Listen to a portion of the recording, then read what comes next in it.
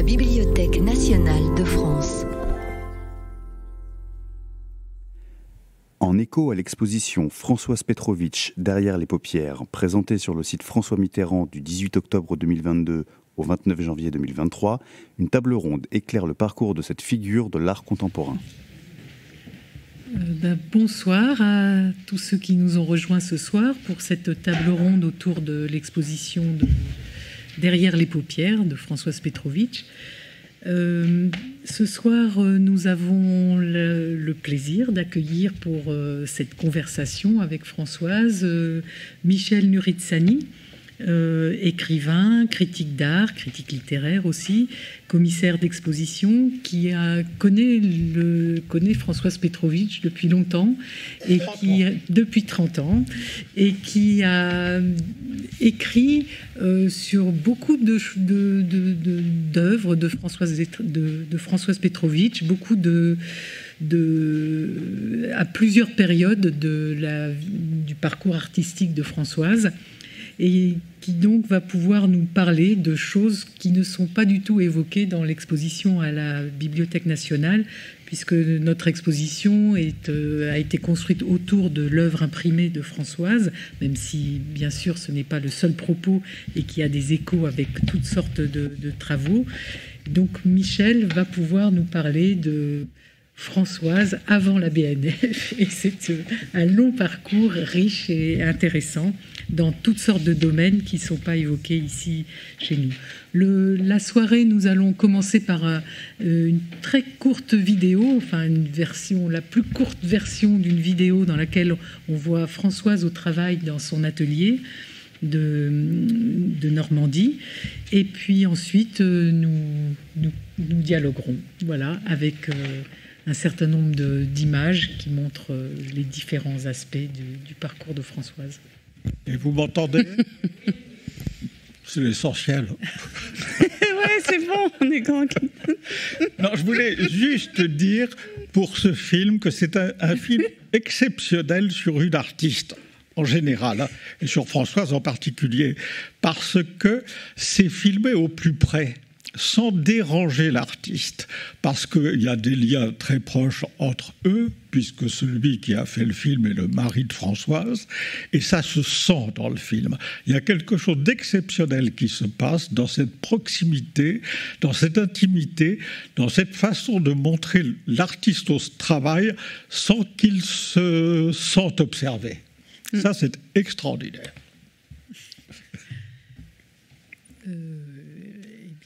Là, moi, j'ai pas de manette pour le film, donc euh, voilà.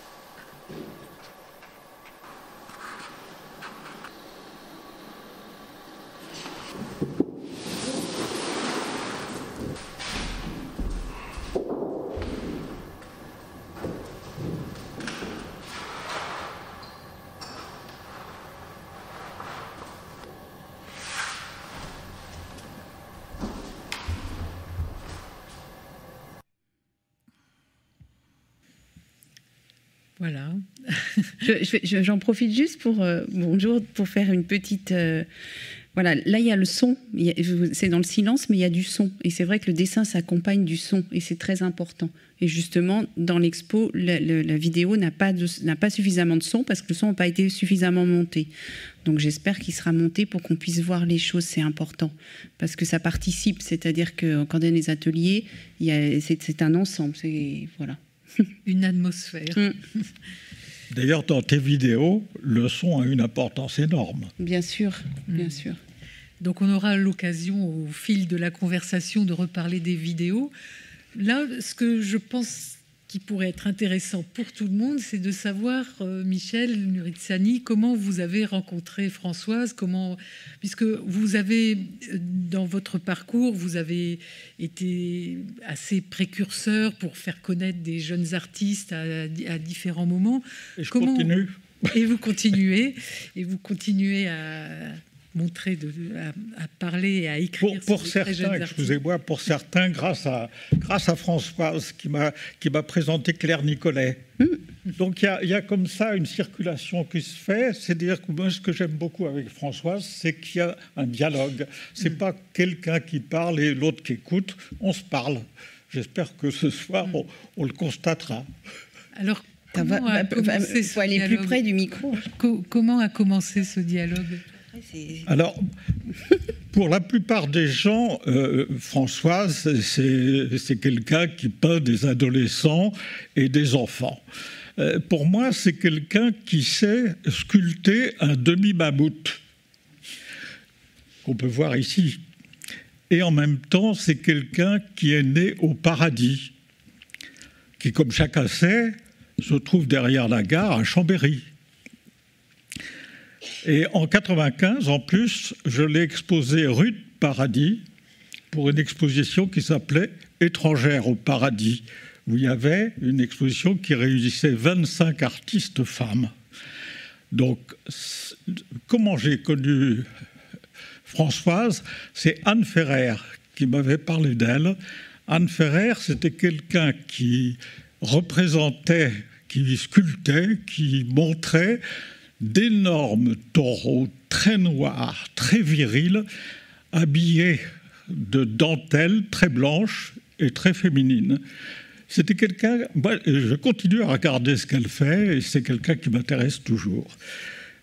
Donc j'ai visité l'atelier de euh, Françoise qui se trouvait à Paris dans le 20e rue des Marochers dans les premières années des années 90, je ne sais pas si mm. c'était en 91, 92 ou 93. Et euh, à ce moment-là, elle peignait des choses un peu étranges. Elle peignait sur des morceaux de bois. Dans mon souvenir, c'était des animaux, des figures. Et les, les, morceaux de bois avaient une certaine autonomie, mais on pouvait les mettre au mur ou on mm. pouvait les regarder par terre. Je ne me souviens plus très bien. Mais je me souviens, je crois me souvenir que c'était un atelier qui était au dernier étage d'un immeuble dans une soupente, mais dans une soupente assez haute. Euh, oui, enfin, c'était pas une soupente, mais bon, c'est pas grave. C'était un atelier que je, on me prêtait un, petit, une travée d'atelier, voilà. D'accord, d'accord. Et donc après, elle a rejoint la galerie de Bernard Outoujian, qui se trouvait 8 rue Saint-Claude dans une cour. Mm. Elle ne donnait pas sur la rue du tout. Et c'était une. Euh, maintenant, la galerie se trouve rue des Arquebusiers. Elle continue à exister. Elle est très intéressante. Et elle a eu sa première exposition personnelle en 95 et euh, elle a quitté Outoujian en 2003 elle a fait trois expositions personnelles. Et euh, ça, s'est passé d'une façon assez drôle parce que c'était une, galerie plutôt dirigée vers la photographie. Et Françoise, à ce moment-là, ne faisait pas tout à fait de la photographie. Elle se servait éventuellement de plaques photographiques, mais pour en faire autre chose. Mm. Elle, euh, et donc, euh, à cette époque-là, Françoise allait beaucoup au salon du vieux papier. Et là, elle euh, recueillait, elle achetait du papier, des, cahiers, des cahiers d'écriture ou des années 30 où on écrivait, on devait euh, écrire, réécrire, apprendre à écrire, soit douce et discrète. On recueille ce qu'on en a semé. Et euh, bien sûr, c'est très, très bien de penser ça, mais Françoise ne pensait pas tout à fait la même chose, et donc elle décidait là-dessus des choses qui étaient en dialogue avec ça ou qui les contredisaient avec, euh, on sentait que c'était fait avec un, petit sourire, un petit peu en tirant la langue. Là, on trouvait déjà ce que, à mon avis, on trouve toujours son humour. Et par exemple, c'est en 92, elle a peint un autoportrait, je crois que c'est le seul qu'elle ait mm. fait de sa vie, à la peinture à l'huile sur, euh, sur un cahier, sur un cahier d'écriture euh, consacré aux lettres à boucle supérieure, avec le H de chaise et le K de onk, ank, enk. Alors, euh, à cette époque-là, euh, ce qui était intéressant pour Françoise, c'est de se servir de quelque chose qui existait pour, encore une fois, entrer en dialogue. Et ce qui était important pour elle, c'était les objets chargés de mémoire, chargés d'histoire, et elle intervenait en, tenant compte de cet objet-là. Hmm. D'ailleurs, dans l'exposition, il y a les monotypes que vous voyez à la fin avec les, avec les feuilles. Avec, justement ces papiers, ces papiers imprimés sur lesquels. Et, et, ce goût pour les vieux papiers, ça venait d'où? Ça venait de. Bah, j'ai toujours eu le goût de l'image imprimée, donc le papier, la, la typographie, elle fait partie, le, texte imprimé, le livre. Euh, et, je crois aussi que c'était une façon de... Bon, on parle de la, peur de la feuille blanche pour un écrivain. Peut-être qu'il y avait cette question de, de, se permettre de travailler parce qu'il y avait de l'existant. Donc c'est plus facile. En tout cas, je me permettais, euh, quand tu parles de décalage, on se décale par rapport à un existant. Donc c'est plus... c'est c'était peut-être une timidité, je sais pas. Mm. Après, euh, après, je, voilà, j'ai plus besoin des papiers, mais.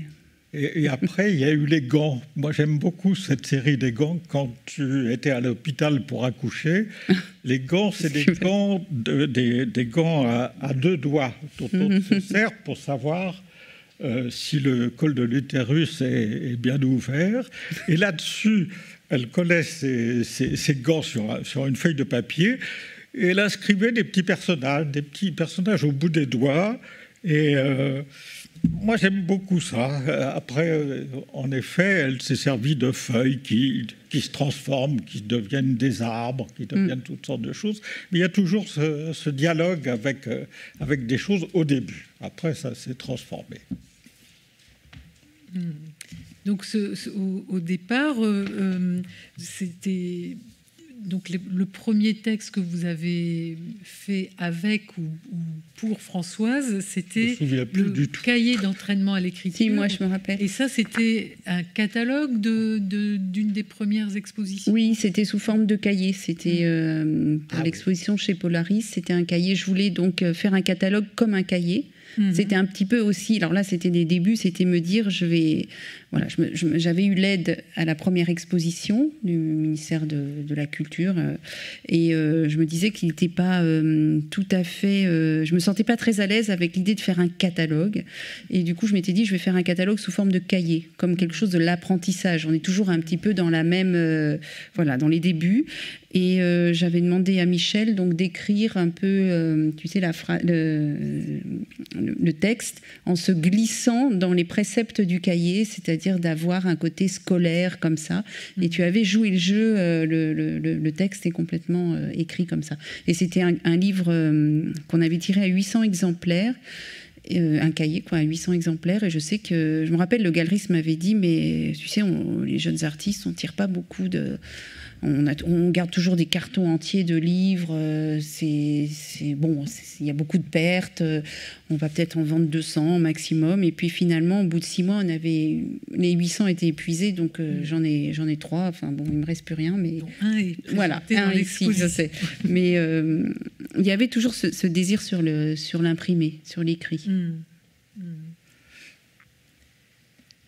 Donc, entre l'écrit et puis d'autres choses, on arrive dans les années 2000, quelques années après, à ce, projet assez extraordinaire qui, qui, marque quand même un, un, cap dans, le travail de Françoise, le, projet Radio Petrovitch.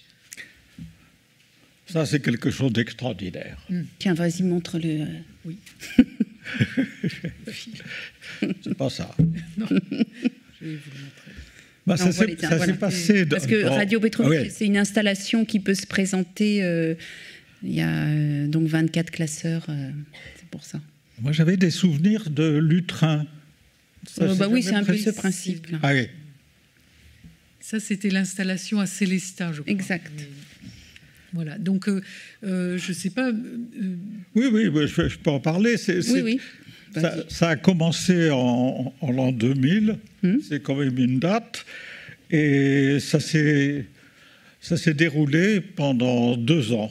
Donc le protocole de départ, c'était Françoise, qui se levait sans doute tôt à cause de ses enfants, c'est ce que j'imagine, euh, écoutait la première information, les premières nouvelles au journal de France Inter à 7 heures du matin, et immédiatement, elle faisait un dessin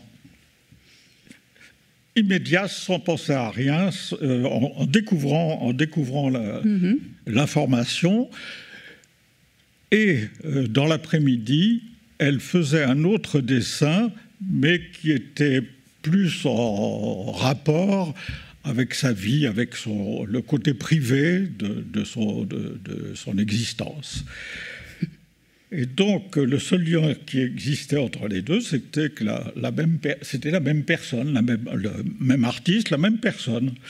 Et donc, avec ça, elle a composé un diptyque entre le collectif et le privé. Alors, Radio Petrovitch est intéressant aussi parce que ça induit la liberté du dessin. C'est-à-dire que, comme elle allait très vite, comme elle ne savait pas ce qui allait se passer, quelquefois, je suis désolé de le dire, mais il y avait des dessins qui étaient plus moins réussis que d'autres. Mm-hmm. Et donc, euh, Françoise a tout gardé. Mm. Comme c'était, et c'est devenu un livre, mais d'abord ça a été une installation. Hmm. Et je ne sais pas si tu as fait beaucoup d'installations, mais ça c'est une de tes installations. Et la plupart des vidéos sont aussi en installation. Exactement. Mais là, Radio Petrovitch, c'était vraiment l'idée d'écouter le monde, c'est-à-dire de me dire... Euh, je ne sais, tous les matins, on est touché par des. Voilà, on, on, engrange des choses. Euh, c'est, on écoute, on entend, on est touché, on n'est pas touché. On ne sait pas d'ailleurs ce qui, ce qui peut nous, nous, bouleverser. Il y a des choses terribles qui peuvent euh, finalement ne pas nous, nous toucher puisque c'est pas assez près, et d'autres euh, qui on s'accroche dessus. Et, et je me suis dit, j'écoutais beaucoup la radio en travaillant. Et je me suis dit, tiens, c'est une façon de, répondre, parce que la radio, on répond jamais, on écoute, mais on n'a pas la réponse, il n'y a pas de droit de réponse finalement. Et je me suis dit que le dessin permettait de répondre, c'est-à-dire de me dire, c'est pas du tout un dessin de presse, c'est-à-dire qu'il n'est pas, c'est pas un dessin de communication, mais c'est un dessin qui était plus une impression, un sentiment, un ressenti rapide. Réaction, oui. Voilà. Et, et, j'ai eu envie assez vite de, tenir ce, projet pendant longtemps. Donc j'ai décidé tout de suite du protocole, c'est-à-dire euh, de travailler sur des petits papiers pour les pouvoir les avoir dans mon sac et si j'avais à me déplacer, je pouvais, euh, je pouvais dessiner. Et euh, quand j'étais à l'étranger, ben, du coup, j'entendais les infos à l'étranger, je les faisais traduire. Et c'est très intéressant aussi de voir que le monde, euh, par exemple au Portugal, euh, j'ai été plusieurs fois au Portugal, on, quand on parle de l'Amérique, c'est pas l'Amérique du Nord, c'est l'Amérique du Sud. Donc juste ça, voilà. Quand j'étais aux États-Unis pendant 15 jours, je suis revenue, je me suis rendu compte que j'avais dessiné des dollars tous les jours. L'argent est très important. Enfin bon, il y a à chaque fois des choses aussi qui mm. sont communes à une, à une société, enfin en tout cas à un groupe. Et, et c'est drôle parce que là, on, présente, euh, on le présente ici. Mhm. Ça, ça me, ça me, faisait très plaisir que, que Cécile voulait le présenter. Et, euh, et le premier, le mois d'août, bon, le mois de, enfin, le, premier été, il y avait déjà Poutine, 2000, et, et c'était le moment du, du sous-marin Kursk qui était en train de couler. Je ne sais pas si vous vous rappelez, il y avait un feuilleton comme ça, on nous racontait que les, que les marins... Euh, hein, ouais. et, je me rappelle très bien parce que je dessinais ce, sous-marin sans savoir euh, ce qu'il allait advenir. Et en même temps, il y avait, quand tu parlais du collectif et du privé, il y avait mes enfants qui jouaient euh, avec des bassines d'eau dans le jardin. Donc c'était l'eau plaisir, l'eau de l'été. Et en même temps, il y avait cette eau dramatique qui était... mais Poutine était déjà là, quoi. Mm. C'est dingue, quoi. Je me suis dit, c'est fou, quoi. Les choses étaient. Et, ça a été de son premier euh, sujet. Enfin, ça a été l'un des. Mm. Voilà, parce que c'était aussi euh, se dire que on est, on, les artistes, même si moi j'ai un travail qui est plutôt un travail plus intime, plus euh, resserré sur le, parfois le psychologique, on est évidemment avec tout le monde traversé par les mêmes choses et évidemment dans la même on est tous ensemble dans le même monde. Quoi. Mm. C'était ça aussi que je voulais dire euh, avec ce, avec ce sujet. D'ailleurs, j'aimerais relier ça à, deux, deux, expositions qui me paraissent très importantes et très touchantes. C'est celle du Louvre-Lens mm. et du livre qui s'appelle J'ai travaillé mon canton. Oui. Qui sont. Bon, on, a, on pourrait dire que c'est quelque chose de social, mais, d'abord, j'aime pas beaucoup euh, employer ce mot-là en ce qui concerne un travail artistique, mais disons attentif aux gens. Et aux gens, tous les gens, les gens du peuple, les autres gens. Et donc, c'est l'exposition du, Louvre-Lens, c'était à l'automne 2018. Mmh. Et ça s'est fait, à l'origine de ce travail, c'est là, c'est ça, c'est. Ah, le dessin, le croquis, voilà. À l'origine de ce travail, il y a un groupe de diverses associations qui ont demandé, qui, qui, combattaient la misère, qui se levaient et qui combattaient la misère. Et ça s'est fait en accord avec, avec ces gens. Et j'insiste, je répète ce mot de dialogue, mais ça me paraît extrêmement important Françoise a dialogué sans cesse, sans arrêt pendant tout le processus de création de cette œuvre, qui n'est pas une œuvre misérable parce qu'il s'agit de misère, mais qui est une, œuvre artistique, qui est une œuvre. Et elle a fait quelque chose qui me paraît d'une importance énorme en ce qui concerne son travail, ça s'appelle tenir. Et je crois que ça, c'est un mot extrêmement important, central, en ce qui concerne le travail de Françoise, et qui elle est, elle aussi, quelqu'un qui tient, qui se tient, qui tient. Et euh, ça, n'empêche qu'elle montre la fragilité, elle montre euh, les choses qui passent, euh, mais les gens qui ont étaient des commanditaires de cette œuvre, ont été très sensibles à ça, à ce mot de tenir, et donc elle a représenté une, femme ou euh, une, jeune fille qui tient dans ses bras un autre être humain. Tiens, tu peux passer. Oui. Mm. Et euh, le musée de Lens, qui est un très beau musée d'ailleurs, a été construit sur l'ancien site minier de Lens et Liévin. Mm. Et les bouleaux sont les premiers arbres à pousser sur ce site. Et Françoise a beaucoup insisté quand elle a installé sa sculpture pour que la, la sculpture ne soit pas trop près du musée pour paraître trop artistique, bien qu'elle soit artistique, mais qu'elle se trouve située dans le bois de Bouleau, là où les gens du cru venaient pique-niquer. Mm. Et ça, ça me paraît quelque chose d'important parce que tu l'as mis du côté de, de Liévin, du côté des gens. Oui, ben c'est sûr. Parce que c'était une dans un programme des nouveaux commanditaires. Vous savez, c'est les, les, programmes où ce sont les, c'est un groupe de personnes, de citoyens qui commandent l'œuvre et c'est la Fondation de France qui a soutenu financièrement le projet. Donc c'est des, ça vient des gens. L'idée, c'est d'avoir une commande euh, public quand même, mm. puisque c'est quand même soutenu par, euh, par, la Fondation de France, mais qui ne viennent pas du haut. Voilà, que ce mm. soit un choix vraiment fait par euh, donc ces nouveaux commanditaires. C'est vraiment euh, des projets qui qui, des projets d'œuvres d'art souhaités par les gens, euh, Mm. les petites gens. Mais c'était compliqué parce voilà. que le, le sujet était compliqué. J'ai rencontré les gens euh, donc à, à Lens parce que Mm. c'était vraiment là où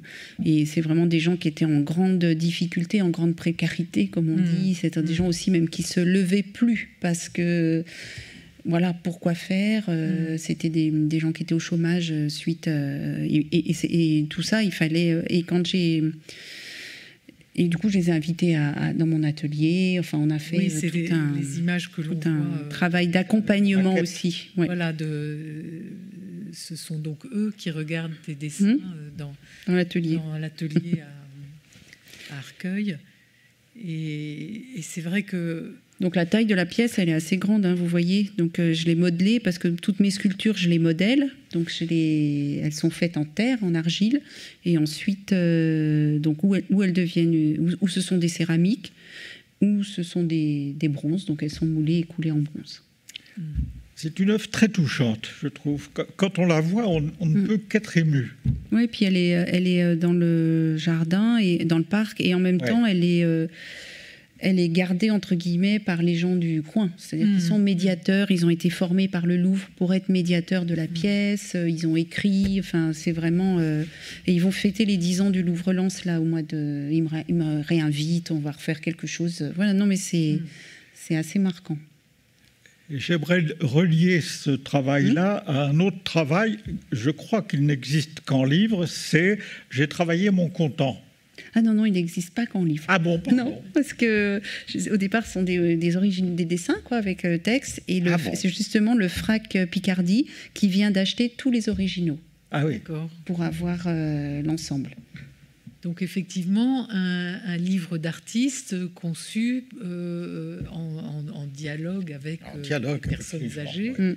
Peut-être que tu peux déjà expliquer les circonstances du livre, parce que c'était dans le cadre d'une résidence ou? Oui, alors les- oui, bah, je vais essayer de faire vite parce que c'est vrai que c'est compliqué, des, des grands projets. Alors, euh, qui- on avait monté avec une lithographe. Bah là, on rejoint l'art imprimé justement avec euh, la lithographe euh, Nancy, Nancy euh, Sulmon.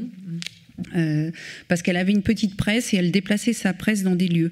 Donc elle m'avait dit, Françoise, est-ce que tu veux qu'on fasse une résidence? On emmène une presse, tout ça, dans une maison de retraite. Je dis, ok, on y va. Et on avait transformé la, hum, le salon de thé en atelier de lithographie. Donc ça, c'est- et on avait une semaine de travail. Et, euh, et- j'avais envie de. Je me posais la question du travail. Ça m'intéressait, mais pas de. Et, je me disais, euh, parce que les artistes, on, dit, on parle toujours de notre travail, mais bon, euh, les autres travaillent, on travaille tous. Et, je me suis dit, posons la question à des gens qui ne travaillaient plus. Et donc, c'est pas du tout des chômeurs, hein, c'est des gens qui, voilà, travaillaient plus depuis longtemps. C'est-à-dire qu'ils étaient à la retraite, ils avaient fait leur compte. Et, j'ai eu des, des, des témoignages euh, très, très forts, hein, très forts. Les gens avaient vraiment des choses à dire. Euh, en plus, c'était très concis, c'est-à-dire qu'il y avait une vraie distance sur la question du travail. Il n'y avait pas de bouillie euh, dans leur tête, c'était très clair. Et, et- et moi, ça m'a permis de faire un dessin d'une manière très synthétique à partir de tu leur, chaque. tu leur posais une question très Ouais. précise, c'était quel était le souvenir de leur première embauche? Voilà, Un souvenir voilà. de leur Et première embauche. c'était des gens qui avaient surtout travaillé au début des congés payés. euh. Et, euh, et assez vite. Donc, on a fait un livre en lithographie, c'était un livre en petit exemplaire, euh, un peu un livre de bibliophilie. Et je me suis dit, c'est pas suffisant. c'est un livre qui existe à six exemplaires, ça veut dire qu'il n'existe pas. Euh, moi, j'ai envie d'en faire un vrai livre qui s'imprime en Mm. offset et qu'on tire à 3 4 000. Et, euh, et on est parti avec une autre éditrice. euh, pendant deux ans pour rencontrer 100 personnes. Et après, ça a été le livre J'ai trahi mon content. Le titre, ça a été une des personnes qui me l'a dit. Et j'ai trouvé que je l'ai entendu dans les témoignages et je me suis dit, c'est vraiment ça. C'est-à-dire, c'est des gens qui avaient compté pour la société, qui avaient fait leur compte. Et euh, il y avait quelque chose de voilà d'accompli aussi. Donc je trouvais que c'était assez joli d'utiliser un titre euh, qui m'était dit euh, par les personnes. Et aussi, je voulais pas représenter les gens en photographie parce que c'était le moment 2003-2005 où la photographie de personnes euh, Voilà, le personne âgée était très présente. Et moi, ça j'étais pas très à l'aise avec ça, ça m'agaçait. Et je me suis dit que j'avais envie de faire un livre sur le souvenir, mais un souvenir euh, positif. Enfin, pas, c'était pas pour être positif, ça, c'est pas l'idée de. Mais c'était pour, euh, pour se débarrasser de la représentation physique et d'être plutôt dans, un, dans une. euh, dans une construction, euh, qui, enfin, dans, dans un souvenir qui avait construit leur vie. Mm. Et les témoignages sont plus intéressants que mes dessins, ça j'en suis sûre. Mais moi j'ai beaucoup appris en même temps. Mm. J'ai beaucoup appris d'eux et ça a été super. Voilà. Non, mais tu as passé deux, deux années à faire ce- ces, ces Entre autres, hein, je faisais des dessins, mais je faisais Oui, ça en plus. sûr. ouais. Ouais, ouais. Et ce qui, est, ce qui est drôle aussi dans, dans, euh, dans ces textes, c'est qu'ils parlent pres- presque jamais d'argent. Il n'y en a aucun qui parle d'argent. Oui. J'allais dire aucun, mais comme je n'étais pas sûr de d'argent. oui. Et d'autre part, moi, ce titre-là, j'ai travaillé mon content, ce qui est une expression, euh, disons, populaire, ça me fait penser à Annie Ernaux, qui est un écrivain que qu'on a découvert ou redécouvert parce qu'elle vient d'avoir le prix Nobel. Mais toi, tu parles plutôt de Joyce Carol Oates, Mhm. de Nathalie Sarraute, de Duras. Tu parles jamais de Annie Ernaux. C'est quelqu'un qui t'intéresse pas ou- Ah si, si, j'ai lu, j'ai lu, j'ai aimé, j'ai- j'aime, il n'y a pas de problème. Mais il y en a tellement que, bon, quand on me demande une liste, je la... Je, voilà. Et c'est quelqu'un pour ce titre-là, c'est-à-dire j'ai travaillé mon content, on la voit très bien en train d'écrire Mmh, cette vrai, phrase. c'est vrai.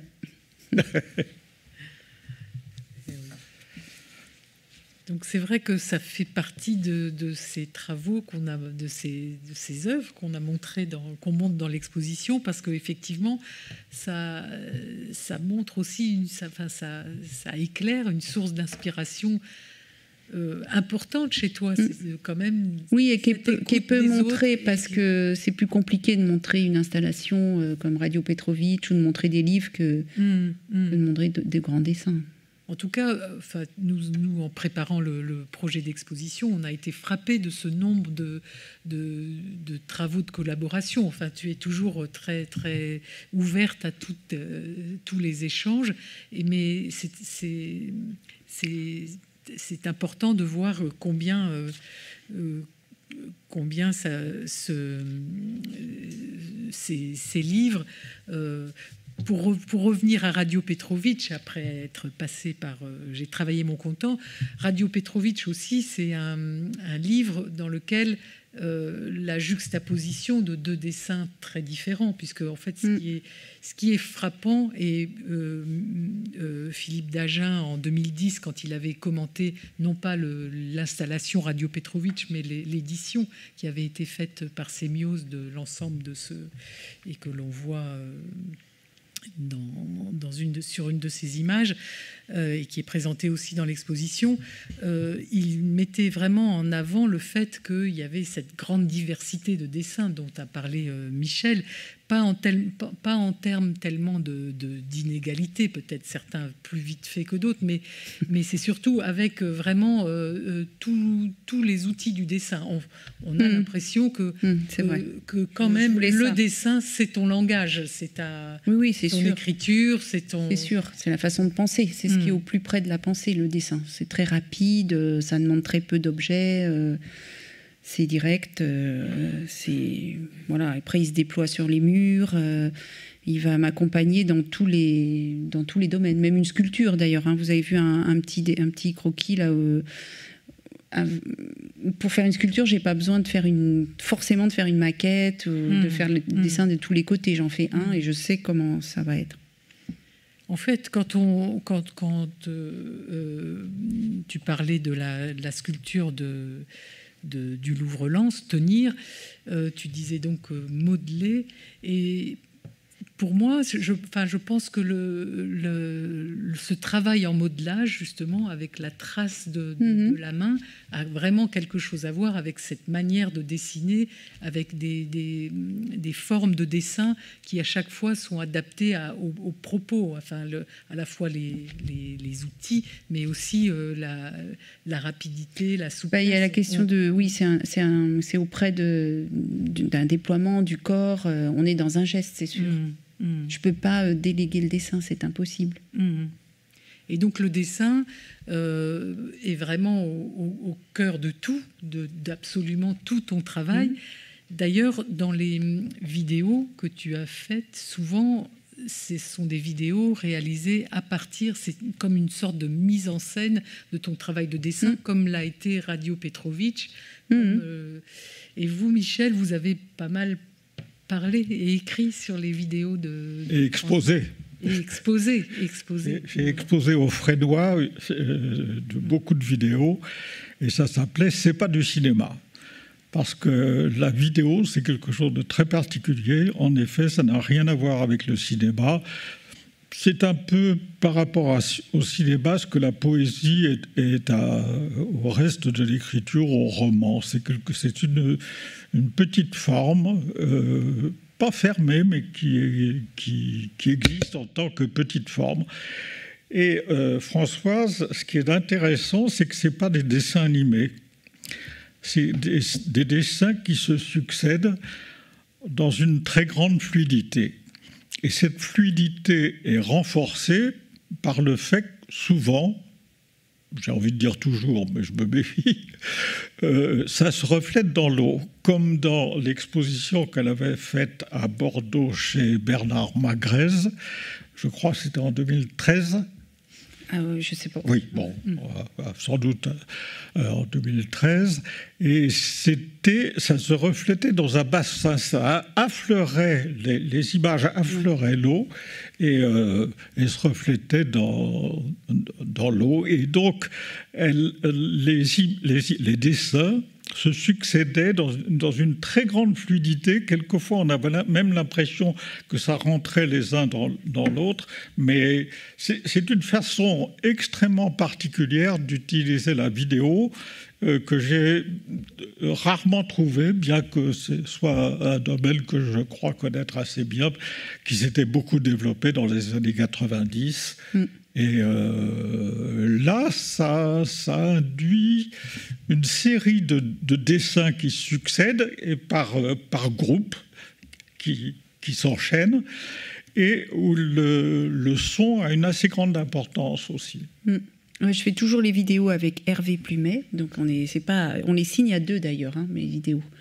C'est clair maintenant. Et, Des co-auteurs. Voilà, on est co-auteurs.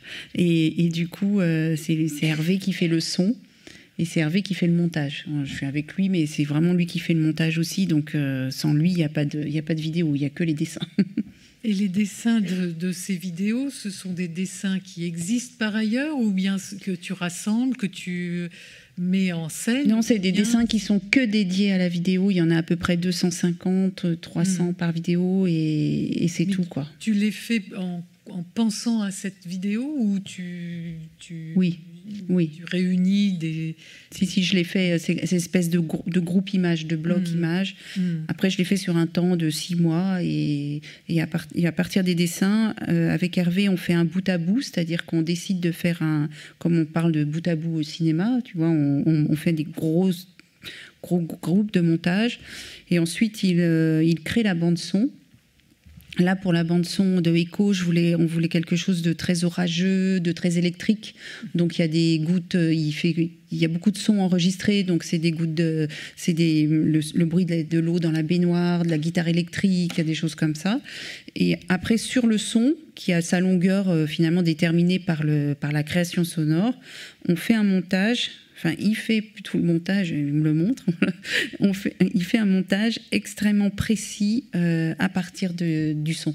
C'est pour ça que c'est très cohérent. C'est-à-dire qu'on se, on se, c'est pour ça que le son est très important. Et l'autre cohérence, c'est l'eau, parce que la plupart de tes travaux, c'est de la vie d'encre, c'est oui, pour presque des oui, aquarelles, et donc ça renforce ce côté. Mm. Bah, il y a un côté très vertical du coup et très plongé en soi aussi, euh, forcément mm. par l'installation. Et on retrouve ça dans une des premières euh, œuvres qui a été montée, montrée là, où on voit un paysage qui se reflète dans l'eau. Mais là, ça, c'est presque oui, un Cette série des îles, c'est vrai que, mais c'est vrai que l'eau, les liquides sont très présents dans, mm. l'ensemble du travail. Plusieurs personnes me l'ont fait remarquer dans, dans, l'exposition. Et c'est vrai que il y a les gouttes, il y a des chagrins dans l'expo. Hein, il y a, ces grandes gouttes mm. noires qui impressionnent beaucoup. Et justement, beaucoup de personnes demandent mais qu'est-ce que c'est que ces gouttes? Qu'est-ce que, qu'est-ce que François veut dire avec ces gouttes? Et autant euh, la, question est complètement ouverte face au dessin, face mm. aux, gravures, face aux lithos. Euh, et autant dans la vidéo, on est conduit vers euh, quelque chose de. Il y a ce tragique, il y a quelque chose. Oui, parce qu'il y, a le temps déroulé dans une vidéo. c'est la question du temps, parce que là, on est dans un art de, avec du temps et il y a forcément un début, une fin. On, est forcément guidé, même si j'écris pas le scénario au départ, même s'il n'y a pas de storyboard, on est forcément guidé parce que c'est normal que notre esprit va faire euh, pas à pas, il va raconter.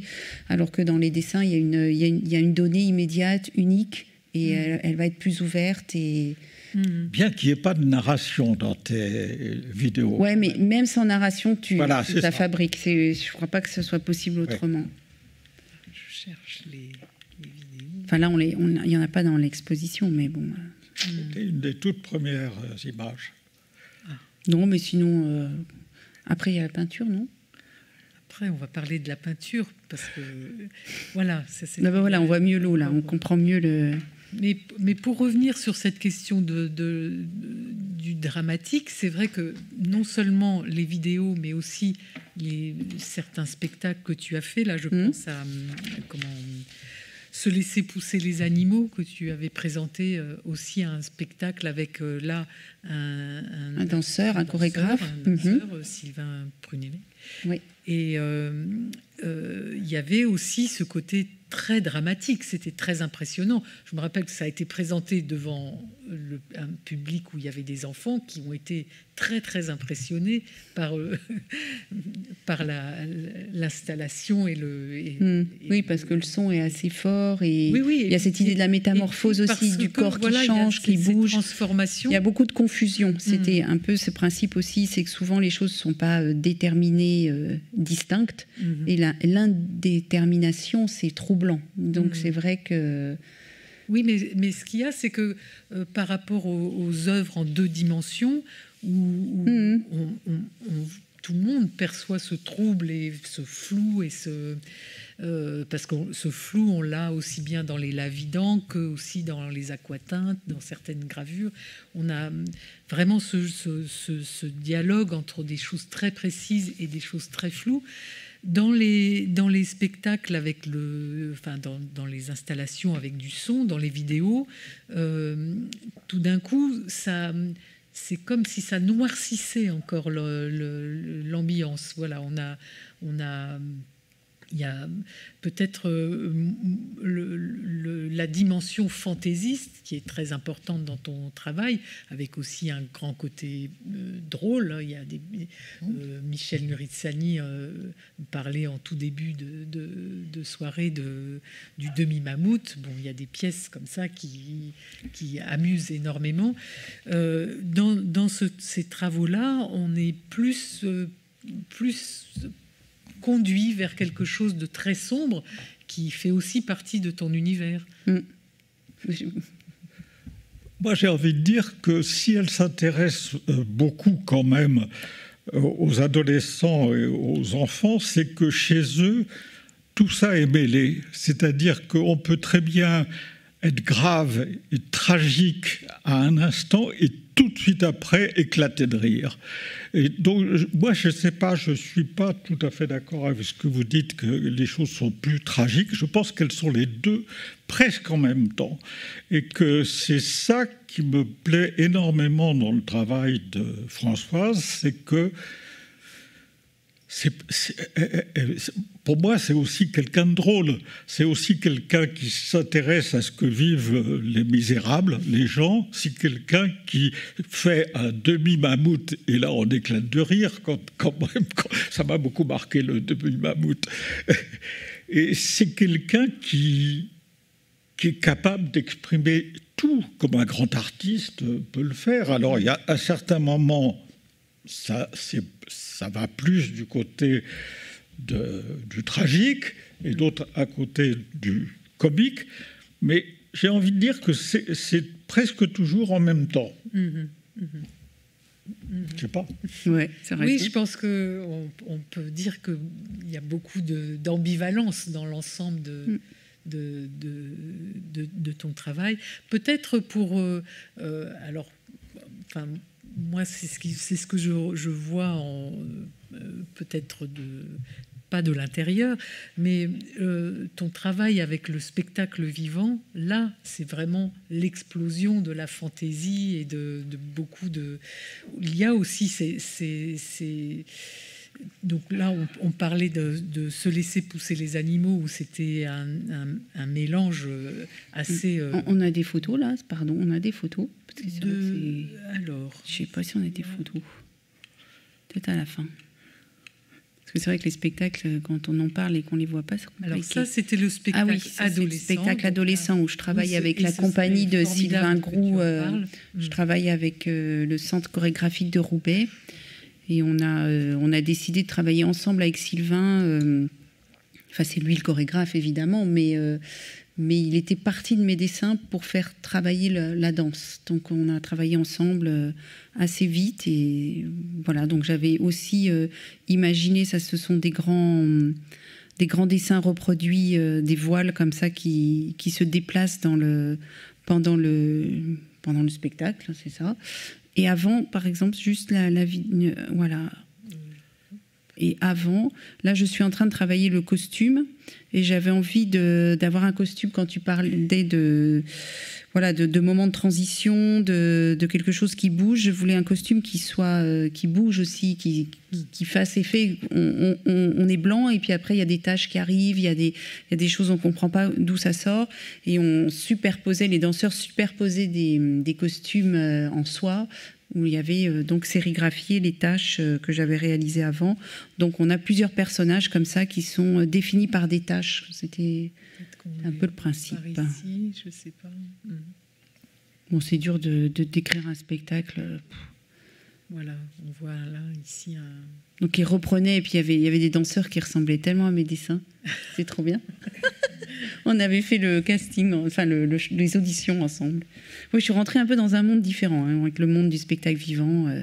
Mais pourtant, tu as, tu as euh, depuis assez longtemps, tu fais intervenir, par exemple, des performeurs. danseurs Oui, de- oui, oui, tout à fait. dans, Performance, danse. dans tes euh, expositions. Beaucoup, d'ailleurs, beaucoup. La question du corps. Puissant comme, euh, comme Mm. intervention. Bah, J'aime Parce beaucoup. que oui, c'est un- Petit un palais. Ouais, bah, j'avais fait au Petit Palais, ouais. au dans les Frac, bassins. euh, euh, au Frac mm, à Marseille, euh, mm. également à- à- dans l'exposition de Landerneau. Et du coup, c'est- ce, ce- co- comment tu travailles avec les, avec les danseurs? Comment est-ce que vous composez? Bah, J'ai pas, en réalité, je, je reçois beaucoup de. Je travaille pas beaucoup, Mm, moi. mm. Je, vois, je regarde. euh, C'est-à-dire qu'il y, a- y a la question du corps dans, dans mes dessins, donc ils se retrouvent et, et eux, ils réexpriment. Oui. Mais je trouve qu'il y a une fragilité dans la danse, dans le, le danseur. euh, Enfin, je sais pas s'il y a des danseurs ici, je veux pas dire des bêtises, mais je, je, je- je trouve que c'est des gens d'une grande fragilité et en même temps. euh, euh, quelque chose qui est totalement éphémère. Ça se Mm. passe là, c'est fort, c'est Mm. et, euh, et je pense que la meilleure façon de travailler avec eux, c'est de les laisser être. Et Mhm. après, euh, et après, on recorrige ensemble. On retravaille sur le temps, sur le rythme, sur le souffle, sur des pas, sur des déplacements. Bon, moi, ça, c'est toutes les questions qui se posent dans le spectacle. Mais mais je pense que ce qui est, ce qui est, bah, moi, pour les performeurs, je, voilà, je les laisse beaucoup libres. euh, Mm, parce que de toute mm. façon, c'est toujours. euh, on, on se choisit, quoi. Il y a un Mm, truc plus comme ça. Voilà, c'est bien aussi. En tout cas, ça, ça, ça donne une lecture de ton travail extrêmement intéressante parce que cette fragilité dont tu parles Mm. pour, les corps des, des danseurs, fragilité et très grande force aussi, puisque Très grande puissance. Là, il y a beaucoup d'énergie dans grande puissance, une grande énergie, une grande maîtrise aussi Mm. de, de, de l'ensemble. C'est vraiment euh, aussi ce qu'on ressent euh, devant beaucoup de tes œuvres. C'est à la fois vraiment une C'est vrai que j'ai moins de, j'ai moins de enfin, je sais pas comment dire, de lien avec la musique, par exemple. La Mm, musicalité, mm. c'est plus compliqué. Enfin, je me sens moins proche. Je me sens plus proche de l'art, de la danse Mm. ou de l'écriture. Vas-y, je sais pas qu'est-ce qu'il y a après. Vas-y. Alors, voilà, encore ce. Donc là, tu avais fait les décors et tu as décors donc euh, euh, inspirés, enfin De dessin, de dessin, ouais, au départ, dessins. Mm. Et, On est les- parti sur des- et la chorégraphie était elle-même inspirée de, de poses dans Ouais. certains de c'était marrant. dessins Mm. et ou gravures d'adolescents. Ça, c'est le, c'est le projet que j'ai eu. Enfin, là, c'était une commande. On m'a demandé de travailler euh, pour l'Opéra de Rouen et de travailler euh, sur la. Enfin, c'est ce qu'on appelle une création mondiale. J'ai appris ça. Parce que le, livret n'est pas écrit, la musique n'est pas composée et, le décor n'est pas fait. Donc, euh, on a tout à faire. Et là, j'ai travaillé justement à partir que du livret qui était écrit par Frédéric Boyer, euh, qui est directeur des éditions POL, parce que la musique n'étant pas composée, je ne pouvais pas travailler à partir de la musique. Donc j'ai vraiment travaillé à partir du texte, qui est très beau, un très très beau texte, euh, très érudit, enfin comme il sait le faire, et en même temps très poétique. Et donc là voilà, là c'est la maquette. Et l'idée c'était d'avoir un, un- un décor tournant. Euh, donc c'est 17 mètres, un plateau de scène, donc c'est 2 fois 17 mètres, ça fait 30 mètres. euh, sur euh, ces, ces 8 mètres. Et euh, alors j'aurais pu l'imprimer comme, euh, comme ça se fait très souvent, ou le vidéo projeté comme ça se fait très souvent aussi actuellement à l'opéra. Et euh, directeur du théâtre m'a dit, est-ce que tu... Directeur technique m'a dit, ben, quand lui est venu dans mon atelier, il a vu que c'était un atelier de peintre, il m'a dit, ben, écoute François, c'est peut-être bien que tu le... Est-ce que tu acceptais de le, réaliser en vrai? Moi j'ai dit, bah, c'est génial, c'est génial comme expérience. Au final, ça leur a pas coûté plus cher hein, que de le faire imprimer, c'est quand même plus intéressant.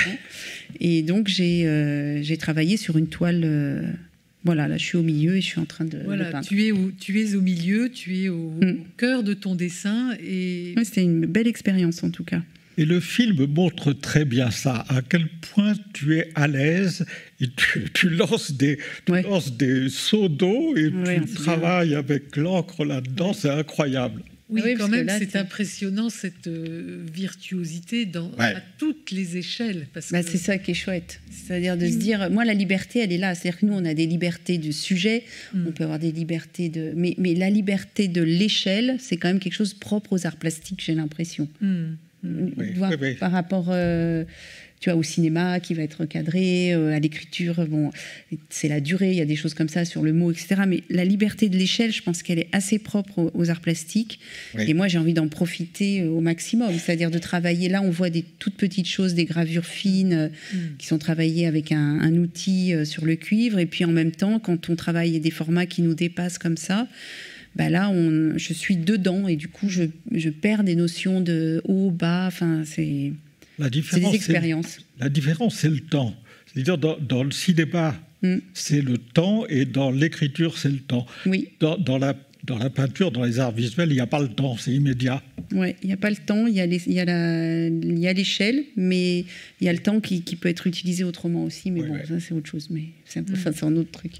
En tout cas, bah, c'est, euh, enfin, cette question d'échelle, c'est, c'est une chose. Il y a aussi cette, euh, euh, cette aisance, en fait, peu- peu- enfin, aisance avec la, la feuille à plat, aisance avec la Mhm. plaque. euh, voilà, on sent. Il y a, et cette dimension euh, très physique du travail, on la devine aussi dans le, dans, dans les, dans le résultat final des œuvres. C'est vrai que quand on voit la, la- la petite vidéo où apparaît avec. tu, tu, tu manipules plusieurs pinceaux du très fin aux Ah oui, oui. grandes brosses. Mhm. euh, Bah, ça, c'est voilà, le travail. hein. extrêmement rapidement, puisque la, la vidéo fait deux minutes et il n'y a pas de. C'est même. Enfin, Mhm. Oui, je travaille vite. Je travaille vite, ça c'est vrai. J'aime donc euh, sans repentir aussi, c'est un. Ah oui, oui, oui. c'est- J'essaye. Bon, après, hein. Ça, vient- ça vient d'un travail long. oui, bien sûr, bien sûr. Mais c'est aussi une pensée, quoi, une façon de se concentrer, de, de penser les choses. Et La, la gravure, justement, me ralentit. La Mm. gravure, c'est un art de plus, plus lent. Mm.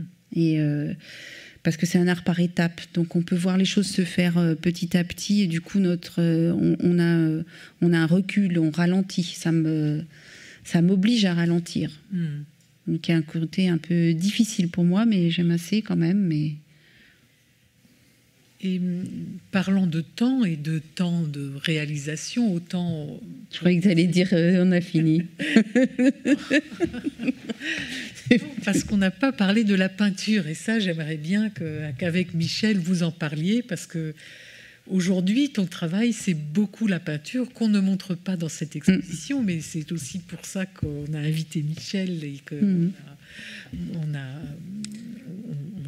souhaité cette conversation, c'était pour parler aussi de choses que nous ne montrons pas. Voilà. Ben, moi, ce qui m'intéresse, c'est les Saint-Sébastien que j'ai découvert euh, à Landerneau. Et j'ai découvert en regardant, en préparant un petit peu cette, euh, cette rencontre ici, qu'il y a un Saint-Sébastien qui existe rue des Maraîchers. Quand mm. Dans la photo, mm. C'est dingue. donc, c'est ça, ça, les années 90. J'avais fait ce motif, ouais. Et je l'avais oublié, cette peinture. Hmm. Je l'ai retrouvée grâce à la photo. C'est-à-dire, bah. quand on m'a demandé, de, pour l'exposition à Landerneau, on m'a demandé de sortir des photos anciennes pour faire la bio. J'ai vu ça, j'ai dit, mais c'est dingue, un Saint-Sébastien. Mais parce que je l'ai perdu, cette toile, donc je sais pas. Hmm. Euh, hmm. je ne me rappelais plus l'avoir peinte. Et tu parlais de, du Saint-Sébastien de Pérugin. que j'aime beaucoup. Et que j'avais vu au Louvre, justement. Au Louvre. Au Louvre. Ouais. Bien sûr. C'est incroyable parce que ce, Saint-Sébastien-là, il a le slip très, enfin le, le drap très baissé, il est assez pas érotique, mais enfin un peu. Bah, tous les Saint-Sébastien sont érotiques. Hein. D'ailleurs, c'est très très frappant dans l'ensemble de. Et donc, comment tu l'as traité Il y, en a qui sont dans le, tu sais, au début. Oui. Je crois qu'il y en a des Saint-Sébastien pour qu'on voit. Non, mais j'avais envie, c'était un hommage à la peinture aussi. Là, ça, ce sont des dessins, les Saint-Sébastien. Mais je fais un hommage à la peinture parce qu'on part de peinture et, et, et ce sont ensuite des dessins. Donc, ce sont des Saint-Sébastien que tu as vus au musée et que, que Ou dans tu recadres aussi. Tu, oui, oui, je coupe la tête, je coupe le sexe et je mets en panoramique et j'enlève le décor. C'est assez tranchant, hein, finalement, autour. voilà. Voilà. Alors, en voici quelques-uns. Et. Voilà. Voilà, la, dimension. Euh, érotique, elle est assez évidente. Très forte. Elle est très très forte. Euh, Saint-Sébastien est percé de flèches et parfois euh, c'est un peu. C'est la beauté souffrante, c'est ça qui mm. m'intéresse. Puis c'est un personnage jeune, Saint-Sébastien aussi, j'aimais bien par rapport à l'adolescence. Euh. Enfin bon, voilà, ce sont des poses euh, presque lascives parfois. Alors ah ben, de toute façon, c'est pas moi qui fais les poses, c'est vraiment pris à partir des peintures existantes. Moi, je, mm. je suis là que pour extraire des choses et voilà, j'essaye d'être le plus simple possible et de et plus, plus j'en ai fait, plus il y en a à faire et plus ça m'intéresse. Et je me dis que voilà, c'est une, série. C'est une série. Combien de... Là, il doit y avoir une soixantaine, je pense. Ah mais bon, euh, il y en aura encore d'autres à faire. Et donc là, nous, on, parle de. Mais là, on parle de peinture, mais du dessin. Mm. Les, dessins au lavis. Mais il y a de la peinture. Du pain aussi, voilà. Alors. Donc, comment s'est opéré le passage du, du, lavis à la peinture à l'huile? Parce que ça, mm. existait dès le départ, puisqu'on parlait tout à l'heure de cette peinture à l'huile, même sur des cahiers. Pendant dix ans, j'ai arrêté de peindre. Pendant dix ans, parce que je parce que je trouvais que je n'avais pas grand-chose à dire en peinture. Et puis, euh, j'étais un peu impressionnée euh, par la peinture. La peinture, c'est quand même l'art... Euh, enfin, bon, oui, c'est vrai. Enfin, je pense que c'est un art qui est très historisé. Enfin, je ne sais pas comment dire. Il est, il est inscrit dans l'histoire de l'art. Voilà, la peinture m'émeut un peu plus que les autres. Euh, ah oui. Et du coup, je me disais que la peinture, je n'en étais pas capable. Alors, je faisais des choses, je les montrais pas vraiment, euh, mais pendant dix ans, j'ai vraiment pas peint du tout. À partir du moment où j'ai fait Radio Petrovic, j'ai commencé à travailler sur le dessin, petit, agrandi, etc. Et comme j'ai développé le dessin, je me suis euh, un peu interdit la peinture. Et puis après, la peinture est revenue et maintenant, je peins beaucoup. Comment ça s'est déclenché? Bah, parce que j'avais toujours envie, mais j'avais pas l'autorisation. Et puis, mental, hein, c'est des clapets dans la tête. Et, à un moment donné, le clapet a dû s'ouvrir. Comment s'est obtenue l'autorisation? Je ne sais pas. C'était au moment du musée de la chasse en 2008. Et là, Ah j'ai oui. travaillé euh, parce qu'il y avait une salle euh, des portes des chiens. euh, c'est voilà les- la salle des portes avec les chiens. Et Mhm. je voulais ins- j'insérais des œuvres dans tout le musée. Et dans cette salle-là, je me suis dit il faut absolument insérer de la peinture parce que je voyais pas euh, comment faire autrement. Et donc j'ai peint euh, quelques quelques petites toiles. Ah, c'est ça? Et j'ai peint par contre sur une to- des toiles où, il y a- où la- où le, le fond était en, en toile de lin euh, visible. C'est comme un papier. Il y avait cette idée du, de, de se C'est ça permettre. qui a fait le passage. Ça a fait le passage. Voilà. Ouais, Est-ce que tu pourrais parler justement du, du- du- du musée de la chasse? Parce que c'était quelque chose qui était vraiment intéressant. Quand on y allait, euh, c'était un peu comme un, comme un jeu, comme une chasse au trésor. Il fallait ouvrir des, des tiroirs. Mm, fallait- j'a- J'avais envie que ce soit comme des indices, que tout soit partout, caché. euh, comme il y avait aussi des. hum, J'ai réalisé des sculptures à ce moment-là avec la manufacture de Sèvres, des têtes de lapin. euh, et j'avais demandé. euh, j'avais demandé. ce que je voulais, c'était avoir du camouflage, c'est-à-dire que les sculptures, l'émail des sculptures soient euh, au plus proche de la tapisserie. Donc je me rappelle, ils m'avaient donné des échantillons qu'ils avaient de leur tapisserie. C'était un brocart euh, de soie, un velours.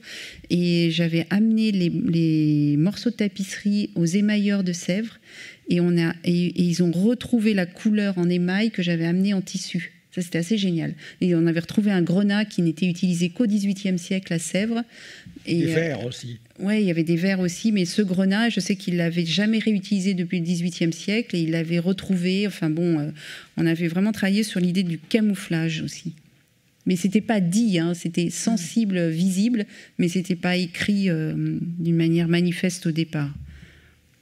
Et c'était ta première euh, collaboration avec Sèvres pour. euh, Non, non, j'avais déjà travaillé avec eux parce que. voilà, c'était. Ah oui, bah ça c'était le renard du Cheshire, ça s'appelle. C'est comme Alice. euh, Il y a Alice qui a un lapin dans ses bras et un grand lapin derrière et une pelisse, euh, c'est un renard au lieu d'être un chat. Le- avec le bleu de Sèvres. Et les bleus, les deux bleus qui sont euh, les deux. Oui, j'ai joué aussi sur la question du bleu et de l'hématome, c'est-à-dire c'est des bleus, euh, des bleus euh, de, de douleur aussi. et voilà. Et ils se rapprochaient comme ça. qu'on- Il y a des bleus aussi dans le lapin. Et, enfin, ça c'est Justement, la, la relation avec euh, le monde animal. Ça, c'est plus compliqué parce que moi, j'ai l'impression que c'est un répertoire de formes formidable. Ah oui. Donc, déjà, une- quand on parle de liberté euh, d'espace, liberté d'échelle, liberté de forme, euh, après, ce sont aussi toujours des animaux qui sont plutôt des animaux euh, plutôt ou domestiques ou fragiles. C'est pas des animaux de pou- pouvoir. Tu vois, il n'y a pas de lion. euh, Bon. Donc on, on- on redouble finalement, la... il y a des choses qui se trouvent dans mes personnages humains qui sont redoublées quand as une femme qui tient un petit animal. C'est comme si c'était une tendresse démultipliée. Il y a aussi cette question de... Oui, et, et- et même ça va jusqu'au jouet, au- à l'animal qu'on Oui, prend sur ses genoux et qu'on Mm. qu'on manipule, Oui. qu'on détruit. Et on, on a la confusion de savoir euh, où on est, quoi. À qui, avec qui on est. Hmm. Donc il y a- aussi, euh, dans cette, pour rester sur l'exposition du musée de la chasse, il y avait cette idée très ludique de, de, de faire.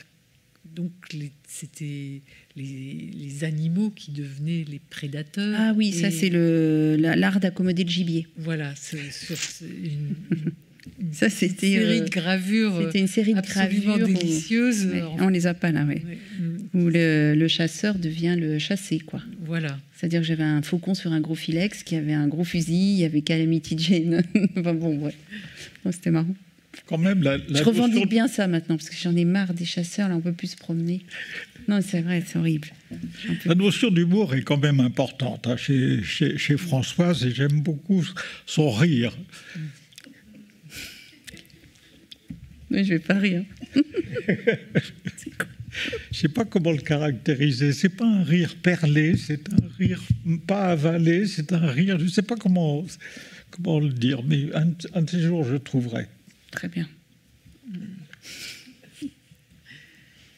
Donc on, on revient à Sèvres, on fait un peu des, des boucles, mais euh, à Sèvres, donc tu as travaillé sur des gros, des grosses formes. Mhm. C'était des, des, des- des sculptures euh, très importantes. Euh, toi, le, plaisir de travailler sur la céramique, c'est venu comment? En fait, on voit que tu as du plaisir un peu partout, que tu aimes essayer et que tu aimes t'adapter aussi à des. Tu te donnes des défis où on t'en donne et en tout cas, tu t'y. Ben, la céramique, c'était vraiment. Euh, l'origine, ça, ça, paraît tout concon, mais on était à l'île de la Réunion avec euh, Hervé et les enfants et il y avait un plat mais magnifique à l'hôtel où on était blanc avec du bleu comme ça, un gros plat épais. Je disais, putain, c'est génial. Je dis, moi, je veux faire pareil. c'est très, très bête, mais je me suis dit, je veux faire ça. Mm. Tu vois, c'est, je l'ai vu, je me suis dit, euh, faut je, voilà, je, et je voulais comprendre parce que je connaissais rien du tout. Et du coup, je me suis euh, inscrit à un, cours d'amateur euh, de céramique. Mm-hmm. Bon, assez vite, j'ai quitté le cours parce que j'allais un peu trop vite et tout ça, et on mm. m'a dit bon, c'est pas à ta place, etc. Mais j'avais quand même appris comment faire, et, ensuite euh, j'ai eu des accompagnements, puis j'ai modelé, et puis j'ai trouvé des céramistes, et, mm. et actuellement là, je, je, prépare une, deux grosses sculptures pour l'Institut Pasteur c'est d'une commande et ils vont être pérennes et j'installe deux grandes sculptures sur euh, l'idée du bestiaire, des animaux, euh, voilà, parce que je travaille avec eux sur d'autres projets aussi avec des scientifiques sur la, pour la recherche euh, contre le sida et du coup, voilà, d'amitié, on, on, a, prolongé les, les choses. Et c'est toujours. Mais c'est vrai que c'est venu des arts décoratifs en réalité. Mm. Et c'est deux choses d'ailleurs. Il y avait le plat et euh, un Saint-Sébastien, drôle que j'avais vu de faïence de Nevers dans une exposition à Nevers. C'est une faïence blanche, je la trouvais magnifique. Et il était percé. Tu sais, les, on n'avait que les trous, il n'y avait pas les flèches. Et, on perce la céramique pour euh, quand vous faites une céramique, vous la cuisez. Et avant, il faut percer pour que l'air s'échappe, sinon elle éclate la sculpture quand elle est dans le four.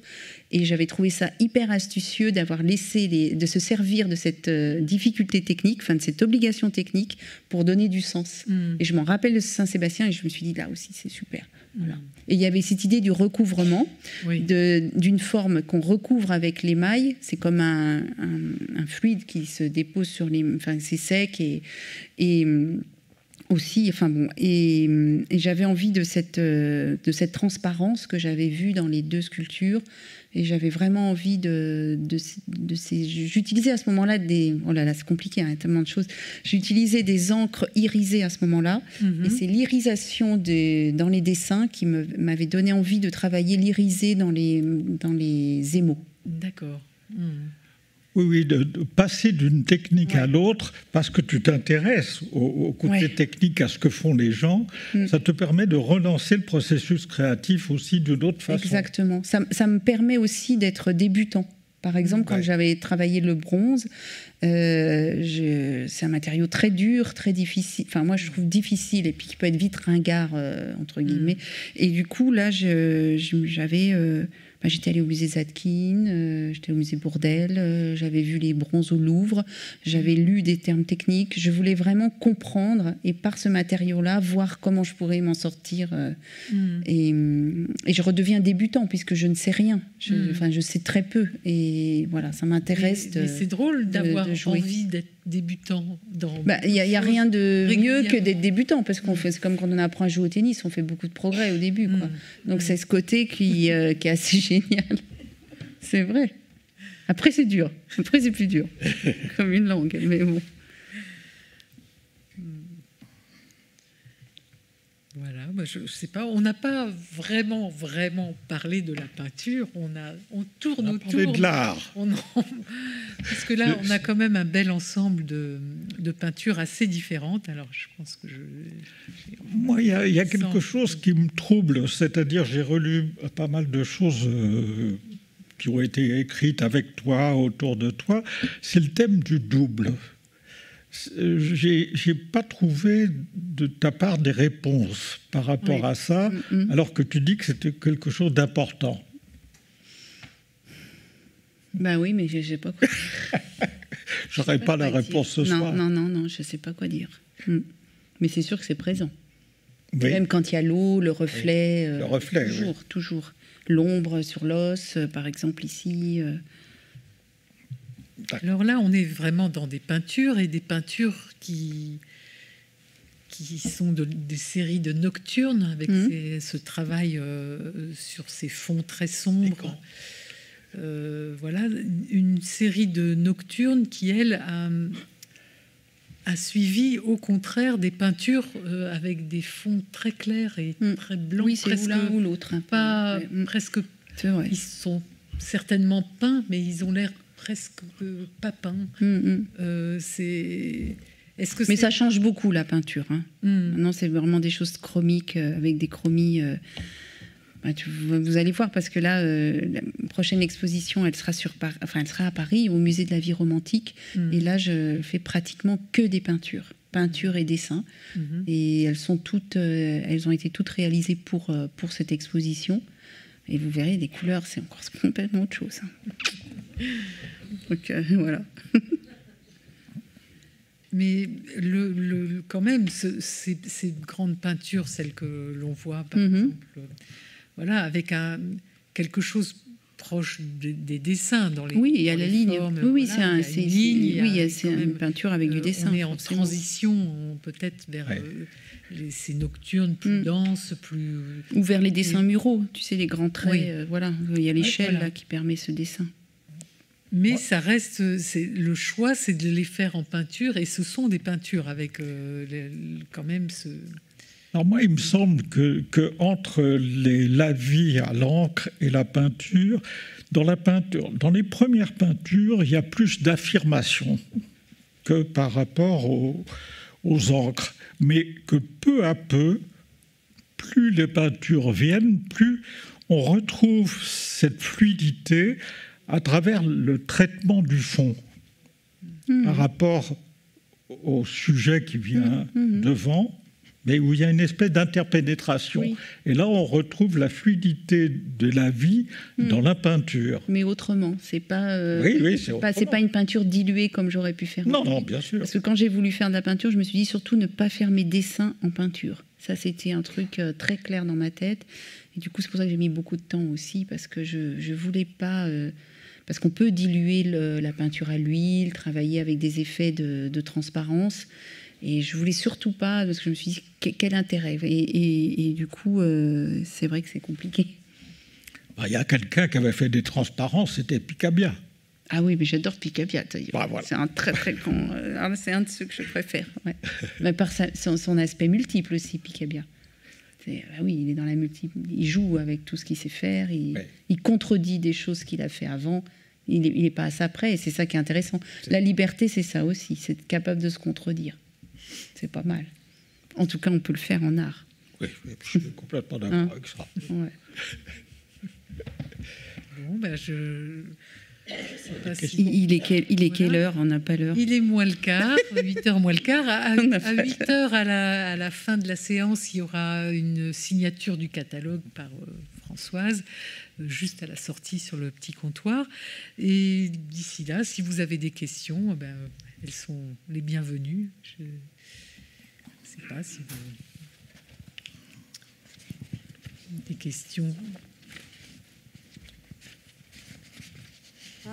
Bonjour et merci beaucoup pour tout ce que vous faites. Moi, ça m'intouche beaucoup parce que j'adore le céramique. J'ai fait le céramique, j'ai fait la gravure et dessin. Donc, on a envie de toucher tout.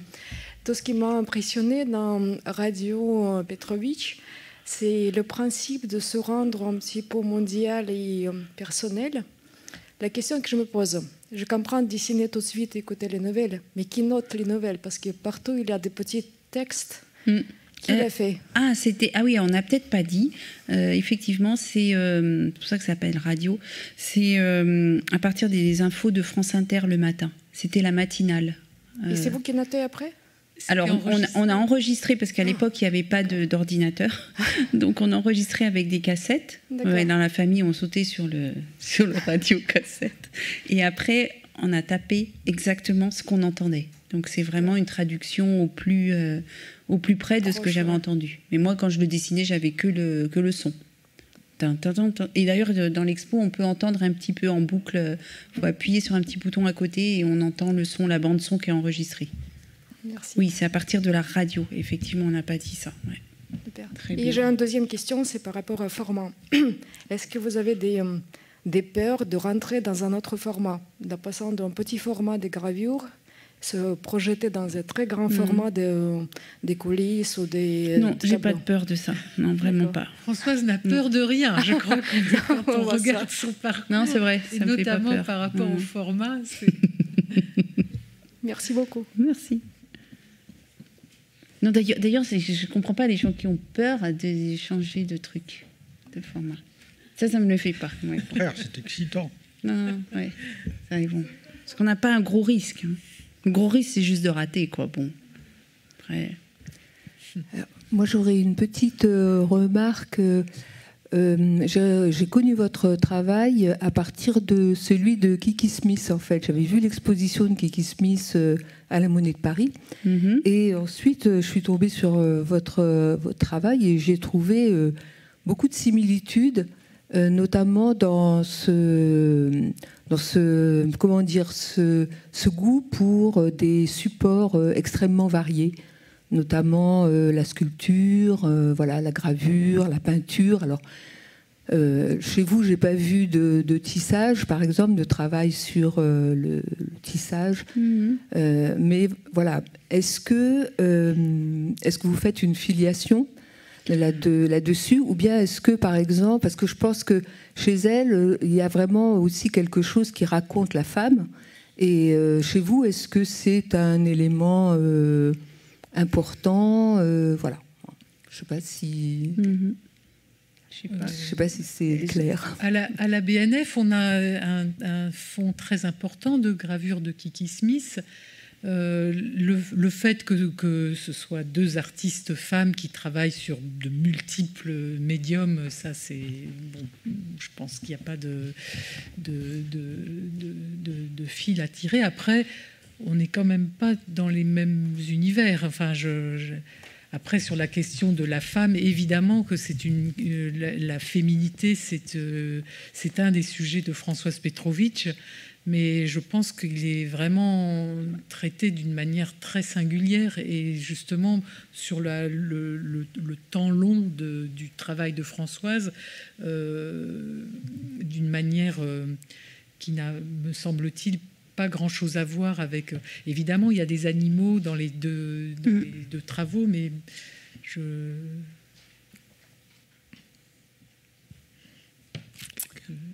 Euh, tout d'abord, merci à vous trois, c'était tout à fait passionnant. Euh, je voulais revenir sur la série euh, des Saint-Sébastien, vous avez évoqué brièvement votre intérêt pour cette figure.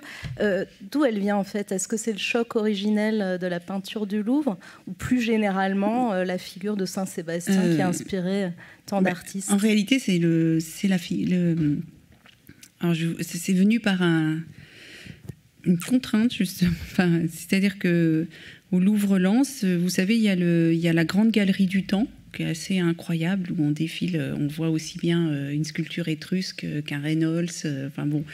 Et, euh, et moi, je, devais travailler. J'ai eu une exposition en même temps que la sculpture, puisque Marie Lavandier, la directrice du Louvre-Lens, m'a dit on va installer la, la, sculpture et en même temps, on va, accueillir une, une exposition. Ce sera la première d'un artiste contemporain au Louvre-Lens. Et donc, je traversais tout le temps cette galerie parce que voilà, on travaille en amont pour une expo, on regarde, etc. Et je voyais toujours ce Saint-Sébastien qui était au milieu. Et euh, donc, je, le connaissais, je l'aimais beaucoup. Mais et après, on, m'avait dit aussi, tu vas travailler pour cette exposition. Et euh, il y avait une contrainte énorme parce qu'il y avait une, euh, une exposition d'art décoratif avant moi, et ils n'avaient pas les moyens de refaire complètement la scéno. Donc ils m'ont dit tu vas t'insérer dans la scéno existante, hyper difficile. Et dans cette scéno hyper difficile, hyper compliquée, il y avait un rouleau 19e qui était présenté et qui était présenté dans une des, vous savez, c'est les, choses un peu rondes. Je crois que maintenant ils les ont cassées, mais à l'époque c'était les grandes, les grandes bulles qu'ils appellent ça les grandes bulles. Et donc il y avait un panneau qui devait faire 55 euh, sur euh, peut-être 15 mètres. On m'a dit voilà, il y a une vitrine de, ce format-là, faut l'occuper. Ok. Et, donc, euh, mais c'est marrant parce que bon, après, j'ai finalement, ils sont venus de l'Allée Saint-Sébastien. Du coup, j'ai fait une série de dessins et je me suis dit qu'il fallait absolument que je travaille à partir de ce que le spectateur voyait dans son, dans son déplacement avant de venir à la galerie. Et donc j'ai travaillé à partir de tous les, toutes les œuvres qui m'intéressaient. Il y avait des... Voilà, des... Après, c'était pas très didactique, hein. ça pouvait être assez en tension éloignée, mais... Et il y avait ce Saint-Sébastien. Et j'ai dessiné Saint-Sébastien, ça, a été, et ça a été le carton de l'invitation, et après la série a démarré. Donc j'avais fait petit, mais après tout de suite, c'était plus grand. Mmh. Donc c'est vraiment... Euh, bon, la, figure m'intéressait, mais je pense que je n'aurais pas développé euh, si je n'avais pas eu euh, cette, finalement, c'est comment dire, ce hasard du, travail, quoi. Mm. Ça, c'est marrant. Hein, dans les images, là, tout à l'heure, j'ai vu un travail de lithographie. Oui. Est-ce vous qui avez abordé cette technique-là ou est-ce que vous avez donné à faire par un technicien? Ah non, c'est tout moi. Je, peins tout. Je, ne délègue rien en gravure. D'accord. En gravure, je délègue absolument rien. Toutes les gravures qui sont dans, dans l'exposition, c'est moi qui les fais. Je suis professeur de gravure à l'école Estienne depuis 32 ans. Donc c'est vrai que je connais bien la technique et et surtout, pour moi, c'est jamais une, une, une, gravure de reproduction ou de. Oui, de. Et, du coup, je, je c'est des œuvres de création à chaque fois. Ouais. J'aime bien. C'est la raison pour laquelle, euh, à la BNF, on avait ce projet d'exposer l'œuvre imprimée de Françoise Petrovitch depuis longtemps, puisque ça fait vraiment partie des artistes qui euh, s'emparent de, de, de l'estampe pour vraiment des créations spécifiques. On n'est pas mm. du tout dans on est vraiment dans l'estampe de création et pour nous, ça, ça nous a semblé être une très belle porte d'entrée dans l'univers de Françoise.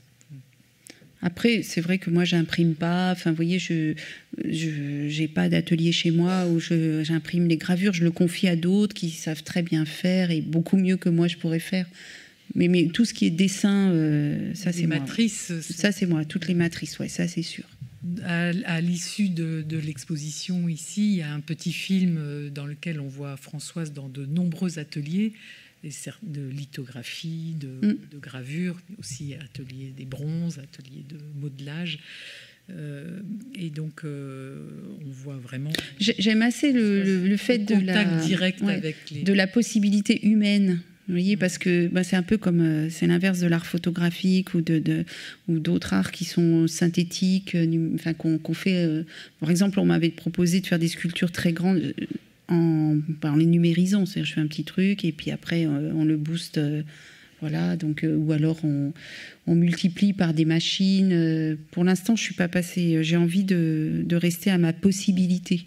Par exemple, les grands dessins muraux, c'est moi qui les réalise. Je peux monter sur les échafaudages, je peux le dessiner.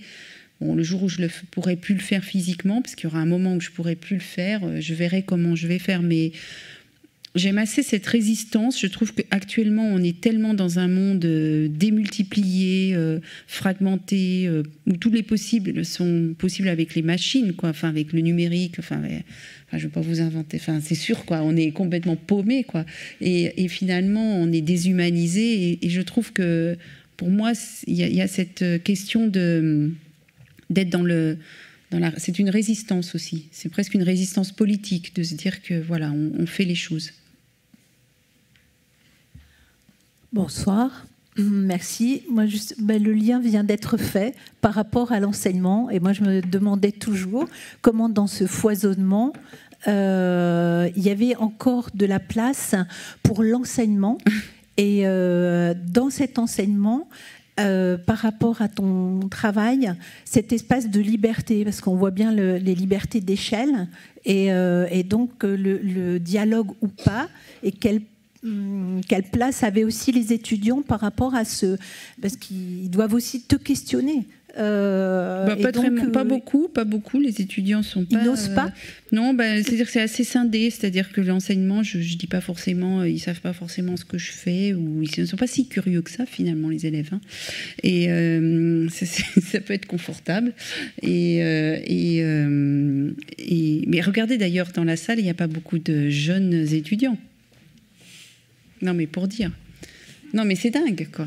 Et, donc, ils sont tous venus au vernissage. Oui, mais bon, euh, quand on demande, c'est un effort de venir. Euh, moi, je trouve ça bien de venir écouter. Euh, voilà, on a un moment ensemble et et, et Non, mais ça se passe très bien, mais parce que d'abord j'enseigne à mi-temps et voilà, et, dans des ateliers et du coup, et l'école Estienne qui est quand même une superbe école qui est dédiée aux arts imprimés, aux arts graphiques, aux livres et voilà, les gens sont assez formidables dans l'école. Mais peut-être que toi, si eux ne te posent pas des questions, toi, tu te nourris aussi de ces... Parce qu'il y a quelque part dans, ton travail sur C'est les gens, c'est les gens, c'est les personnes. De toute façon, c'est toujours le contact avec les hmm. personnes. Hmm. Regarder les gens se déplacer, les gens vivre, euh, ça c'est chouette. Euh, bonsoir. Oui. Voilà, bonsoir. En fait, moi j'ai deux questions. Euh, par rapport en fait à vos productions qui représentent des figures adolescentes. Donc je voulais savoir en fait euh, bah, qu'est-ce qui vous inspirait euh, justement ces, portraits, ces attitudes, ces masques, ces jeux, ces espèces d'histoires. Enfin, en tout cas, moi, je les ai perçus comme ça. Et je voulais savoir, donc c'était ma deuxième question, est-ce que vous avez déjà rencontré des publics d'adolescents et, et, du coup, quels sont les retours donc des adolescents sur ces, sur ces figures, justement? Merci. Bah, merci. Alors, adolescent, ben, moi j'ai eu deux enfants euh, qui sont déjà plus adolescents, mais qui, ont, qui continuent à être un peu mes modèles ou leurs amis et tout ça. Donc j'ai toujours un peu grandi avec eux. Hein. C'est un truc comme ça. Et euh, je suis assez entourée de jeunes gens. C'est sûr que voilà. Et puis euh, les retours sont plutôt assez directs et assez. Je sais qu'ils sont assez bons. Par exemple, le spectacle adolescent de danse, ben, on l'avait joué à Malakoff et la directrice du, du théâtre nous avait dit mais c'est la première fois où on a tant de public jeune, euh, ils étaient debout, ils applaudissaient, à Roubaix c'était pareil. Il y a quelque chose d'assez... Euh, oui, les gens se... en tout cas, il n'y a pas euh, je, ne vois pas d'hostilité. Enfin, je ne sais pas si c'est la question. Je ne sais pas si je réponds bien, je ne sais pas trop. je ne sais pas si. Mais en tout cas, il y a une justesse dans les, dans les attitudes d'adolescents. C'est observé, quoi. C'est observé. Beaucoup de gens la, notent. Euh, mm. euh, les jeunes. C'est des moments arrêtés, c'est des moments très précis arrêtés, et en même temps, euh, il y a une grande précision dans un geste, et en même temps, tout le reste ne va pas être précis. Mm. C'est un peu toujours comme, bah, comme Michel disait tout à l'heure, quelque chose de grave et en même temps, mais c'est en même temps de drôle. Ben, en même temps, il y a une précision une du réalisme, mais en même temps, il n'y a pas du tout de réalisme, puisqu'on ne sait pas où on est, quand on est, euh, euh, il n'y a pas, jamais de décor. Euh, et ça, depuis le début, hein, on voit les premières gravures, des gravures de 88, et je vois qu'il n'y avait pas de décor, et il n'y en a jamais eu. J'ai jamais travaillé comme ça, et, j'ai l'impression que ça ça, permet d'être hors temps, quoi, aussi.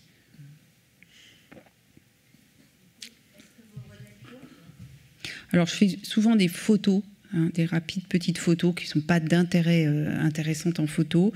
Après, quand je dessine, j'ai plus la photo, mais j'ai vu des choses, je les ai quand même. Euh, ouais. Mm. Bonsoir. Moi, j'ai une question. Alors, je voulais vous remercier parce que je trouve que c'est une expo qui, était, euh, qui faisait appel à des choses très charnelles. Très, je trouve ça très violent, en fait, mais très fort. Et je voulais savoir, au niveau des formes, est-ce que vous partez euh, de la synthèse de croquis que vous faites sur le motif d'observation ou alors finalement est-ce que vous avez genre une sorte de photographie dans la tête que vous synthétisez le truc Enfin, c'est ça ma question. Comment on un arrive peu les deux. C'est un peu les deux. En réalité, il y a du mélange. Par exemple, dans la, il y a une série euh, dans l'exposition qui s'appelle euh, Des mains qui serrent des gants. Ça, c'est vraiment quelque chose que j'avais vu dans le métro. J'ai vu quelqu'un en face de moi qui serrait des gants dans sa main. Et du coup, il y avait les mains physiquement, euh, voilà, euh, ses mains. Et puis, il y avait ce, ce, gant qui était un peu flasque. Ça faisait des doubles mains, quoi, des doubles gants, des, trucs bizarres. Et donc là, j'ai fait un petit croquis tout de suite. Euh, j'ai dû faire un petit croquis comme ça, très crayonné sur un carnet. Et c'est devenu. mais j'aurais pu aussi faire une photo, quoi. Ça, ça, se mélange. Il y a les deux. Il y a le plaisir du dessin observé, parce que l'observation, ça reste quand même un des grands, euh, je trouve, un des grands plaisirs du dessin, c'est-à-dire voir et, dessiner. C'est voilà la relation entre je vois, je restitue. Et puis, euh, par exemple, dans Radio Petrovitch, il n'y a rien qui est, euh, qui est photographié, puisque mm. c'est j'entends, je dessine. Mm. Donc il y, a plusieurs façons de dessiner. Et mais j'ai aussi des photos. Je mélange tout.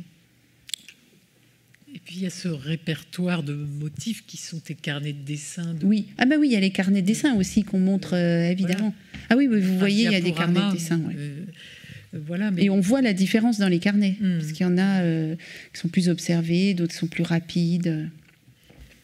Et on voit ces, motifs qui reviennent dans, sous toute forme, dans toutes les techniques qui hmm. sont repris comme un peu des variations musicales. C'est Je ne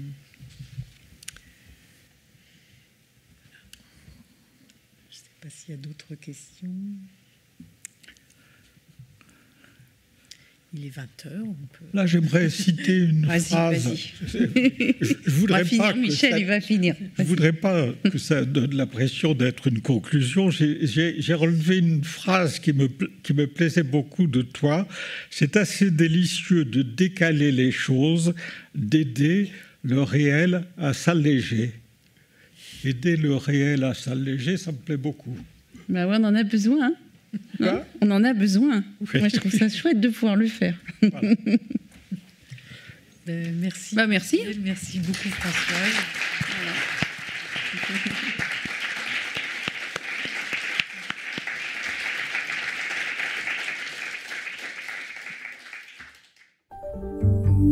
D'écouter un podcast de la Bibliothèque nationale de France. Retrouvez les conférences, rencontres et créations de la BNF sur toutes les plateformes de podcast ainsi que sur le site bnf.fr.